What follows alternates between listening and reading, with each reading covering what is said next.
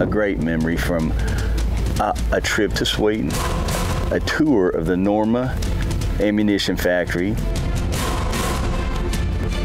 I met so many wonderful people that worked there.